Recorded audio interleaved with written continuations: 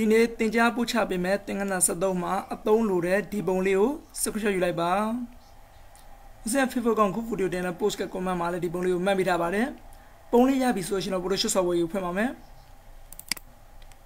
file open ခုနပုံလေးကိုတစ်ချက် click မယ်နော် click select မှတ်လဲပြီးတော့ open နှိပ်ပါမယ်ဒီပုံလေးရပြီပေါ့နော်ဒီပုံလေးဒီအနီရောင်အစားကောက်ငင်ရောင် background လေးကိုထည့်ပါမယ် ဒါကြောင့်အသုံးလိုလဲကောင်းငင်ပုံ background တစ်ခုဖန်တီးကြရအောင် file ထဲဝင်မှာ new ထဲဝင်လိုက်ပါဒီမှာ new dialog box လေးပေါ်လာပြီပေါ့နော်ဒီမှာ visualizer ဥစဉ်တော့ inch ကိုပြောင်းပါမယ် width မှာတော့10လို့ရလိုက်မယ် height မှာတော့4လို့ရလိုက်ပါမယ် resolution မှာတော့300ထားလိုက်မယ်ပေါ့နော်ပြီးရင် okay နေလိုက်ပါဒီမှာစာရွက်အသစ်ကလေးရောက်လိုက်ပေါ့နော်အပြာအောင်ဒီမှာယူထားပါမယ်တစ်ချက်လိုက်မယ်ဒီဒီအတန်းလေးကအပြာကိုတစ်ချက်လိုက်ပါမယ် ဒီထက်မှာဆိုတော့ကြိုက်တဲ့အရာကိုချစ်ထက်ကလေးလိုက်မယ်နော်ဒီ new ဆိုတဲ့အကွက်ကလေးထဲမှာအပြာလေးဝင်သွားပြီအဲ့တို့ဝင်သွားလို့ okay နှိပ်လိုက်ပါအောက်မှာကြည့်ပါအပြာလေးဖြစ်သွားပြီနော်အဲ့တို့အပြာလေးဖြစ်တဲ့အချိန်မှာ filter ထဲဝင်မယ် render ထဲကိုထည့်ဝင်ပါမယ် cloud ထဲကိုထည့်လို့ဝင်လိုက်ပါမယ်ဟောဒီမှာအပြာအောင်တင်တဲ့ကလေးပေါ်လိုက်ပါနော်ဟုတ်ပြီဒါလေးဦးဇင်းတို့ထပ်ပြီးတော့ effect ထည့်ထည့်ပါမယ် effect ထည့်ထည့်ဖို့အတွက် filter ထဲကိုပြန်ဝင်မယ် render ထဲကိုထည့်ဝင်မယ်ဒီမှာ lighting effect ဆိုရနော် lighting effect ကိုတစ်ချက်လိုက်ပါဒီမှာ lighting effect ပုံလေးပေါ်လိုက်နော် ဒါလေးကိုကျွန်တော်ဒီမှာရွှေ့ကြည့်ပါမယ်ဒါဆိုအလင်းအောင်ဒီအပေါ်ကနေဝင်လဲပုံဖြစ်မှာပေါ့နော်ဒီမှာအလင်းအောင်နည်းနည်းလေးချက်ချင်းဒီလိုမျိုးချက်ချင်းဒါပိုလင်းအောင်ပေါ့နော်โอเคနေလိုက်ပါကြိုက်လို့ရှင်တော့အော်ဒီမှာဒီလိုလင်းလင်းလေးဖြစ်သွားပြီပေါ့နော်ဒါကိုထပ်ပြီးတော့ပိုပြောင်းရင်တို့လည်းပြောင်းလို့ရပါသေးတယ်အခြားပုံတွေမှာလည်းခုလို lighting effect တွေထည့်လို့ရပါတယ်ဒီပုံလေးကိုကြိုက်ပြီဆိုရင် control A ဆိုတဲ့ချက်လိုက်ပါမယ်ပြီးတော့လည်း control X ဆိုလည်းပဲကပ်ယူလိုက်ပါမယ်ကပ်ယူပြီးတော့ဒီဘက်ကိုသွားပြန်နှိပ်မယ် ဒီနောက်ခံလေးအစားအစားထိုးခြင်းတဲ့အတွက်ဒီနောက်ခံအရင် select ပေးမှာပေါ့ select ပေးဖို့ဒီဘက်က quick selection ကိုယူပါ quick selection ကိုယူပြီးဒါလေးကို select မှတ်လိုက်ပါမယ်ဒါ select ဖြစ်သွားပြီเนาะအဲ့ဒီ select ဖြစ်တဲ့အချိန်မှာဦးဇင်းတို့ edit ထဲဝင်ပါမယ် page special ထဲဝင်ပါမယ်ဒီမှာ page into ထဲထပ်ပြီးဝင်လိုက်မယ်เนาะအော်ဒီမှာနောက်ခံ background လေးဝင်သွားပါပြီဒီပုံလေးနှစ်ပုံ pattern image လို့မနော်ဒီပုံမှာတစ်ချက်လိုက်ပါမယ် အောက်မှာ flatten image ဆိုတာရှိတယ် check လိုက်မနော်ဒါဆိုနှစ်ပုံတစ်ပုံပေါင်းသွားပြီပေါ့နော် control a select all control x ကပ်လုပ်လိုက်ပြီနော်ဒီပုံလေးတော့ပြန်သွားမယ်ဒီပုံကဒီတိုင်းဆိုသိမကောင်းတော့သူ့ကိုလည်းတင်တဲ့ပုံလေးဖန်တီးကြရအောင် filter render နော် render လေးက cloud ကိုတစ်ချက်နေလိုက်မယ်အော်တင်တဲ့ပုံလေးရပြီပေါ့နော်ဒီပုံလေးထပ်ပြီးပြင်မယ်နော် filter render ဒီမှာ lamp flat ဆိုရှင်တော့အဲ့တော့တစ်ချက်လိုက်ပါ lamp flat ပုံလေးပေါ်လာနော်ဒီထက်မှာဒီအလင်းရောင်လေးဒီမှာဘယ်ဘောဝင်နေလဲဒီဘောဝင်နေလို့ရှင်ဒီလိုမျိုးနှိပ်လိုက်ပြီးတော့ pocket နှိပ်လိုက်ပါအော်ဒီဘောမှာဒီမှာအလင်းလေးတစ်ခုဝင်လာနော်ထပ်တော့သူ့ကိုပြုပြင်လို့ရသေးပါလေတစ်ခါပြောင်းမယ် filter render ကို lighting effect ကိုချက်ဝင်လိုက်ပါမယ် lighting effect မှာဒီအပေါ်မှာ style မှာ default ဆိုအောင်စင်လို့ blue on ကိုတစ်ချက် click လိုက်ပါမယ်ဟိုမှာဒါဆိုရင်အတွင်းအပြောင်လေးနဲ့ဖြစ်မှာပေါ့နော်ဒါလေးဒီလိုမျိုးလေးဆွဲပြီးလုပ်လို့ရပါတယ် okay အော်ဒီလိုပုံလေးပေါ်လာနော် control v ခုနကကတ်လုပ်ထားလဲဒီမှာ paste လုပ်လိုက်နော်ဒီပုံရဒါဆိုအပြည့်ဖြစ်နေတယ်သူ့ကိုနည်းနည်းပြန်ချုပ်မယ်ချုပ်မို့တော့သူ့ကို control t ဆိုတဲ့ check လိုက်ပါမယ်ဒါဆိုပြီး transform box လေးပေါ်လာပါပြီမ down လေးတွေမှာအကွက်ကွက်ကလေးနော်ဒါလေးကိုချုပ်မယ်ညီညီညာလေးပြောင်း keyboard က shift key ကိုလက်နဲ့ဖိတာနော်ဖိတော့ဒီ down လေးကနေဒီလိုမျိုးဆွဲပြီးချုံလိုက်ရပါတယ်ကြိုက်ပြီဆိုတော့ mouse ကိုအရင်လွတ်ပြီးမှ keyboard ကိုလွတ်လိုက်ပါတပုံရပြီပေါ့နော် enter ခေါ်လိုက်ဒီမှာတပုံ ဒီပုံလေးကိုထပ်ပြီးတော့မိတ်တူပွားပြီးဒီဘက်ကိုယူမယ်ပေါ့နော်မိတ်တူပွားပြီးတော့ keyboard ကနေပြီးတော့အရင်ဆုံးဒီပုံမှာမူတူလေးကိုယူထားအောင်နော်မူတူကိုယူပြီးတော့ keyboard ကနေပြီးတော့ alt လက်နဲ့ဖိမယ်ဖိလိုက်ပြီးဒီလိုမျိုးပုံမှာဒီလိုဆွဲလိုက်ပါမယ်ဒီမှာတပုံရရနော်နောက်ကဒီပုံလေးအပေါ်ထပ်ပွားမယ် keyboard က alt လက်နဲ့ဖိမယ်မောင်းနဲ့ဖိလိုက်ပြီးဒီလိုပေါ်ထပ်ဆွဲလိုက်မယ်ဒီမှာတပုံရရနော်ဒီဘက်ကိုထပ်ပွားမယ် alt လက်နဲ့ဖိမယ်မောင်းနဲ့ဖိတော့ဒီဘက်ဆွဲမယ် ပုံလေး၄ပုံရတော့ပါပြီဒီထက်မှဦးဆုံးစာလေးရိုက်ကြရအောင်ဒီဘက်ကတိုက်တူကိုသွားယူထားပါချက်မှာ click လိုက်မယ်နော် click ပြီးတော့ဒီဘက် TV ရဟာလို့တစ်ချက် click မယ်နော် click ဒီဘက်မှာစာဘောက်လေးပေါ်လာပါပြီဒီမှာအရွယ်စားကိုပဲနေထားထားခြင်းတယ်ဘောနော်မှာ30စာအစဉ်ကတော့40လို့ထားလိုက်မယ်နော်အရွယ်စားကိုဒီမှာ font style မှာလည်းကိုကြိုက်တဲ့ဟာလေးကိုယူလို့ရပါတယ်အယောင်ဘာအောင်ထားမလဲဒီမှာ color ကိုအစဉ်ကအဖြူအောင်ထည့်လိုက်ပါမယ် okay ကြိုက်ပြီဆိုတော့ဒီမှာစာစရိုက်ပါမယ် WTYT လို့ရရင်ပေါ့နော်ဒါဆိုရင် what technology you tin ပေါ့နော်ဒါလေးကိုပိတ်တော့ပါမယ် close test group ကိုတစ်ချက်နေပြလာလေးပိတ်လိုက်ပေါ့နော်ဟုတ်ဒီဘက်ကမူတူလေးကိုယူထားမယ်ဒီစာလေးကိုအလဲရွှေ့လိုက်မယ်ဒီစာလေးကိုနည်းနည်းထက်ကြီးကျင်သေးတယ် control T ဆို transform bar ကိုခေါ်မယ်ဒီစာလေးကိုအရွယ်စားညီညီလေးကြီးကျင်တဲ့အတွက်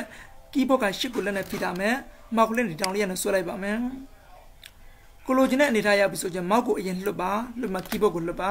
ပြီးတော့ညဒီဟာလေးကိုနည်းနည်းရွှေ့လို့ရပါသေးတယ်ကြိုက်ပြီဆိုလို့ရှိရင်တော့ enter ခေါ်လိုက်ပါဒီမှာစာလေးတစ်ခုရရနော်ဒီစာလေးကိုကျွန်တော် effect ထည့်မယ် effect ထည့်ဖို့အတွက်အောက်က effect ကိုသွားနှိပ်လိုက်ပါအပေါ် dot share တို့တစ်ချက်နေလိုက်နော်နောက်ကိုသူ့ကိုအရေးကလေးထည့်မှာပေါ့ဒီမှာ distance ကိုနည်းနည်းလေးဆွဲပြမယ်အရေးကလေးကဒီလိုမျိုးလေးထွက်လာနော်ဒီမှာ angle ကိုစတစ်ချက်လေးနည်းနည်းလေးဆွဲလိုက်မနော်အရေးကဒီလိုပုံလေးလေးဖြစ်လာတယ်ဒီမှာအရေးကများနေသေးတယ်နည်းနည်းလေးလျှော့လိုက်အောင် မယ်ဟောဒီမှာဒီလိုပုံအရေးကလေးနော်နောက်ကအောက်တာကလို့တစ်ချက်ဝင်လိုက်ပါဝင်လိုက်ပြီးရောဒီမှာအောက်တာကလို့မှလည်းနည်းနည်းလေးထပ်တော့ဆွဲလို့ရတယ်နော်ဒါလည်းတုံတောင်လို့တိတ်မသိတာဘူးနော်နည်းနည်းလေးဝါးဝါလာမနော်နောက်က gradient overlay ကိုတစ်ချက်လိုက်ပါဒါရောင်ပြီးလေးထည့်မယ်ချက်ကလစ်လိုက်မယ်ကလစ်လိုက်ပြီးရောဒီဘက်ကကိုထည့်ချင်တဲ့အရောင်လေးတစ်ခုထည့်လိုက်မနော်ဟောဒီလိုရောင်လေးပေါ့ကြိုက်ပြီဆိုရင်တော့ okay ကိုနှိပ်လိုက်ပါဒါဆိုစာသားလေးတစ်ခုရလာပြီ ခုတခါ smart object တွေကြောင့်သင်ရှင်းပြပါမယ် Adobe Illustrator လို့ပေါင်းနဲ့ဆွဲတဲ့ဟာဆို smart object ပုံလေးနဲ့လာတာပါအဲ့တော့ smart object ကိုကောင်းကောင်းသိထားမှာဖြစ်ပါမယ်ဒီပေါ်တစ်ချက်ကလိုက်မယ်နော် background ပေါ်မှာ click လိုက်ပြီးတော့ဒီမှာ combine to smart object ဆိုရှင်နော်အထောက်တစ်ချက်လိုက်ပါမယ်ဒီမှာ smart object ဖြစ်ပါနော်ရိုးရိုးဆိုလို့ရှိရင်ဒီနောက်ကဒီညာလေးဘာမှမပေါ့နော်အောက်မှာ smart object ကကြတော့ဒီမှာအောက်လေးကိုနည်းနည်းလေးဒီလိုမျိုးလေးနဲ့ပါနော်ဒါမတူဟုတ်ပြီဒီ smart object နဲ့ဖြစ်တဲ့ပုံလေးဆိုရင်ဒီပုံမှာ double click နှိပ်လိုက်ပါ ခုလိုမျိုး okay ဖောက်ပေါ်လာနော် okay ဖောက်ပုံ okay နှိပ်လိုက်ပါဒီလိုတီးတန်ထွက်လာတဲ့စာမျက်နှာလေးပေါ်မှာကြိုက်တယ်လို့ဖန်တီးလို့ရပါဒီပေါ်မှာဥစဉ်မျက်ခင်းလေးတစ်ခုဖန်တီးပါမယ်မျက်ခင်းလေးဖန်တီးဖို့တော့ဆိုတော့ brush tool ကိုသွားရေးပါ brush tool ကိုယူလိုက်ပြီးရွေးလိုက်ပြီးတော့ဒီဘက်ကနေဥစဉ်တို့ကြိုက်တဲ့ဟာကိုယူလိုက်တစ်ခုယူလိုက်ပါတော့ဒီမှာဥစဉ်ဒီမျက်ပုံလေးကိုယူလိုက်ပါနော်ဒီမှာမျက်ပုံလေးရတယ်ကျဒါလေးကိုပိတ်လိုက်ပါနော်ပိတ်လို့ဒီမှာမျက်ပုံလေးကိုကြည့်လိုက်ပါဒီမျက်ပုံလေးကနည်းနည်းလေးဒီမှာသေးနေသေးတယ်သူ့ကိုကြည့်ကျင်လို့ချင်း keyboard ကနေပြီးတော့ ကွင်းစာကွင်းပိတ်တွေနဲ့ဥစဉ်တို့ကြည့်လို့ရပါဒီဘက်ကဥစဉ်တစ်ချက်နှိပ်ပြီးကြည့်ပြအောင်နော်အဲဒီမှာကြည့်လာပြီတခါပြန်သေးမယ်ကိုလိုချင်တဲ့အနေထားအကြည့်သေးလုပ်လို့ရပါတယ်မြက်ကလေးဆိုတော့အစိမ်းအောင်ဖြစ်မှာပေါ့အဲ့တော့ဒီဘက်ကအစိမ်းအောင်ဆိုလို့ပြောင်းမယ်တစ်ချက်ကလေးနော်ဒီအတန်းလေးကအစိမ်းကိုအရင်တစ်ချက်ကလေးလိုက်မယ်ဒီမှာအစိမ်းပေါ်လာနော်အဲ့ဒါကိုကြိုက်တဲ့အရာကိုဒီမှာပြောင်းလိုက်ပါဒီရောင်ကြိုက်လားဒီရောင်ရဒီရောင်ဆိုကြိုက်တယ်ဒီမှာနှစ်ယူးထဲမှာအစိမ်းပေါ်နေပြီအစိမ်းပေါ်မှာ okay နှိပ်လိုက်ပါဒါဆိုအစင်းတို့မြက်ကလေးကအစိမ်းတက်လက်အဖြူတက်လက်ဖြစ်သွားမှာနော်ကဲဒီပုံမှာဖိပြီးဆွဲကြည့်ရအောင် အော်မြက်ကလေးလေးနော်ဒီမှာမြက်တွေဆွဲပြီးသွားပြီဆိုလို့ရှင်တော့ဒီဘက်ကကြက်ချီလေးကိုတစ်ချက်ကလေးလိုက်ပါမယ်ဒီမှာ yes တို့နှိပ်လိုက်ပါဟောဒီမှာမူရင်းပုံလေးထဲမှာမြက်ခင်းလေးရောက်နေပါပြီခုနေ့တိုင်း smart object တွေနဲ့တီးတန့်ဖွဲ့ပြီးတော့အလုပ်လုပ်လို့ရပါတယ်ဒီတစ်ခါဒီအတွင်းထဲကပုံလေးတွေကို effect ထည့်ကြည့်အောင်ဒီအရင်ဆုံးမူတူလေးကိုယူထားမှာနော်မူတူလေးယူလိုက်ပြီးဒီမှာ auto select ကိုအမှန်ချစ်ထားမယ်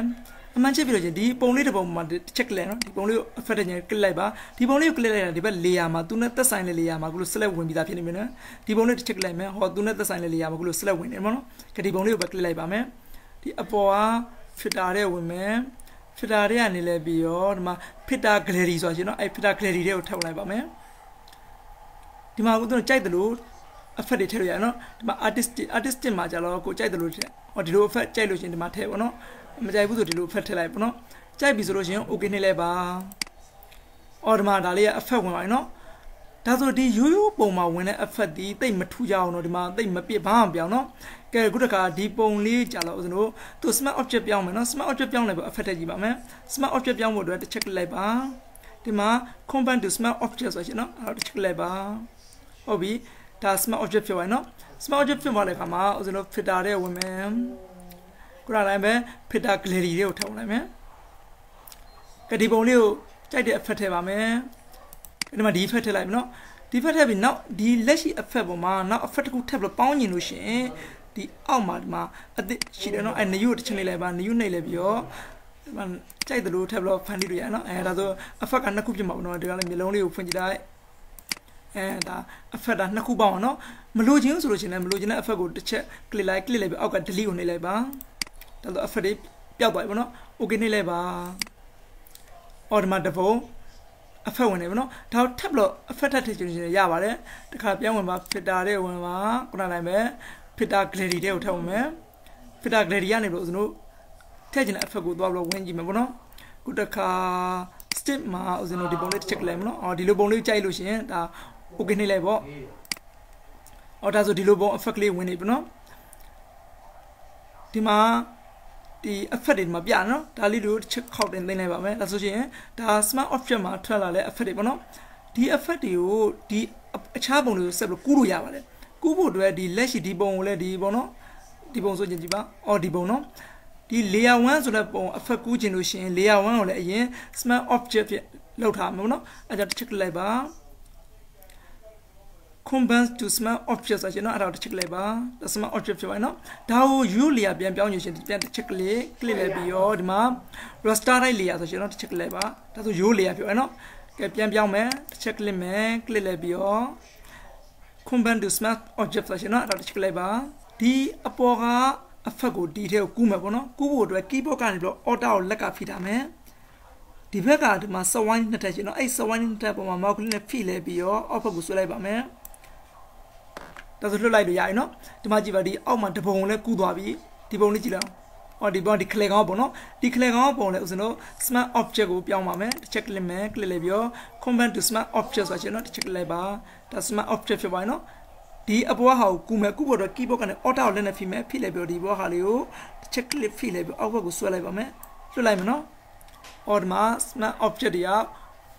တူတဲ့ဟာဆိုဒီလိုကူးလို့ရတယ်ပေါ့နော် ခုတခါထက်ရှင်းပြချင်တာကဒီကောင်လို link တွဲမယ်ပေါ့ link တွဲဖို့အတွက်ဒီပုံလေး check လိုက်ပါဒီပုံလေးရယ်ဒီပုံလေးကအခုဆိုရင်ဒီမှာဒီပုံကတက်တက်ကွဲထွက်နေနော်ဒီပုံလေးရယ်ဒီပုံကဘယ်ပုံလဲဒီမှာဒါ layer 2ပေါ့နော်အဲ့တော့ keyboard ကတော့ control လက်ကဖိထားမယ်ဒီနှစ်ပုံကိုဆွဲလိုက်ဒီလို click လိုက်မယ်နော် click လိုက်ပြီးတော့အောက်ကဒီမှာ link ကိုတစ်ချက်နေလိုက်ပါမယ်ဒါဆိုဒီနှစ်ပုံက link ချိတ်သွားပြီ link ချိတ်တဲ့တော့တပုံဆွဲရင်တပုံမှာပါနေလေအော်ဒီလိုမျိုးပါလာတယ်ပေါ့နော်တခါဒီစာနဲ့ထပ်ပြီး link ချိန်ပြီပေါ့နော် ဒီစာပေါ်မှာဆက်လက်သွားပြရမယ် keyboard နဲ့ control လက်ကနှိပ်တာအပေါ်မှာတစ်ချက်လက်ဒါဆိုဒီသုံးခုလုံးဆက်လက်ဖြစ်နေနော်အဲ့ဒီဆက်လက်ဖြစ်တဲ့ချိန်မှာအောက်က link ကိုတစ်ချက်နေလိုက်ပါဟောဒါဆိုသုံးခုလုံး link ချိတ်သွားပြီနော်ဒီမှာကြည့်ပါအောက်ကစာလေးဆွဲလိုက်မယ်ဟောဒီမှာသုံးခုပါလာပြီ link ကိုပြန်ဖြုတ်ချင်လို့ရှိရင်လည်းရပါတယ်ဒီ link ဖြစ်နေတဲ့ဟာတွေပေါ့အကုန် click မယ်ပေါ့နော်တစ်ချက် click click လိုက်ပေါ့ shift ကိုနှိနှိပ်လိုက်ပြီးတော့ဒီအောက်ကတစ်ချက်နှိပ်လိုက်ပါဒါဆိုရင်သုံးသုံး select ဝင်ရနော်အဲ့ဒီ select ဝင်တဲ့အခါမှာအောက်က link လေးကိုတစ်ချက်ပြန်နှိပ်လိုက်ပါ ဒါဆိုအကုန် link တွေပြုတ်သွားပါပြီဒီမှာတပုံချင်း cross ဆိုလို့ရပြီပေါ့နော်ခုနေ့သင်ခန်းစာကိုတော့ဒီမှာပဲရပ်တန့်လိုက်ပါမယ်